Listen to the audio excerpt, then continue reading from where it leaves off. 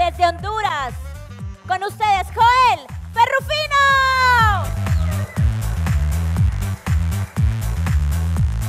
Muy buenas noches.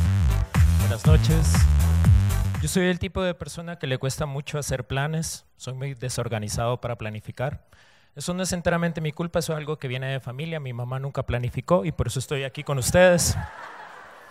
No toda mi familia fue así. Mi abuelo era una persona muy segura. Él nació en 1914. Él nació en blanco y negro. Entonces, cuando yo lo miraba de niño, yo lo miraba que él cruzaba la calle y él no miraba a los dos lados y yo como, wow. Él solamente se cruzaba y al cruzarse le hacía así.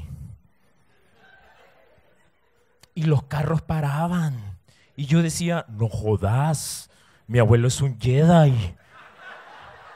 Lo dije así, en ese tono, porque yo desarrollé bien chiquito. Este, también eh, una cosa de mí es el hecho de que yo soy una persona insegura, a diferencia de mi abuelo, yo no soy tan seguro. Soy una persona insegura, tan insegura que parezco calle de Tegucigalpa a las 10 de la noche. Igual que esa calle, una mujer me mira de lejos y dice como, "Mm, no, a esos pedos no me voy a meter. No creo que sea una persona mediocre, lo que pasa es que padezco de vértigo y por eso nunca estoy a la altura de la situación. Mi abuelo tenía unas costumbres bien raras, por ejemplo, mis abuelos dormían en camas separadas, entonces me imagino que cuando querían sobrepoblar el mundo, movían la cama como todo el mundo lo hace, con las rodillas.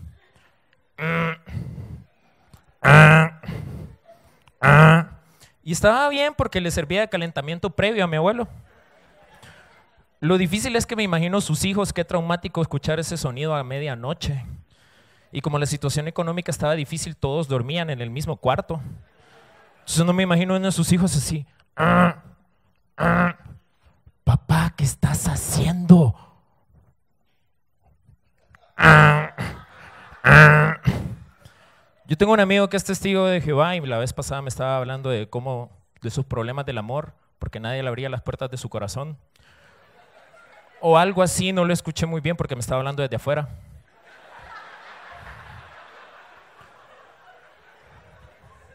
También tengo un amigo que quedó ciego, hace mucho tiempo que no lo veo, él tiene mucho más de no verme a mí. Pero le ha ido bien en la vida porque consiguió trabajo en el Congreso porque el día de la entrevista le dijeron como, hey, ¿y usted qué opina de toda esta corrupción? Y él como, no la veo. Ah, me gusta cómo piensa. Contratado. A mí, mi nombre es Joel, como ya escucharon, pero yo le tengo como un poquito de envidia a ciertos nombres como Juan, porque los que son Juan, la gente se le puede acercar y decirles como, hey man, vos sos todo un don Juan. Y ya saben que es alguien que anda con muchas mujeres. A mí nadie se me va a acercar y me va a decir como, hey man, vos sos un don Joel.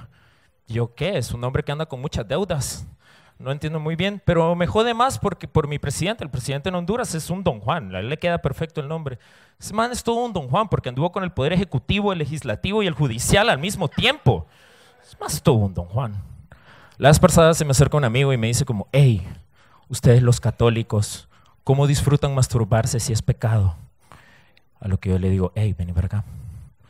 Ustedes los, los ateos disfrutan masturbarse, pero nosotros los católicos lo hacemos con culpa. Y eso es más rico. Muchas gracias, eso es todo para mí. Buenas tardes.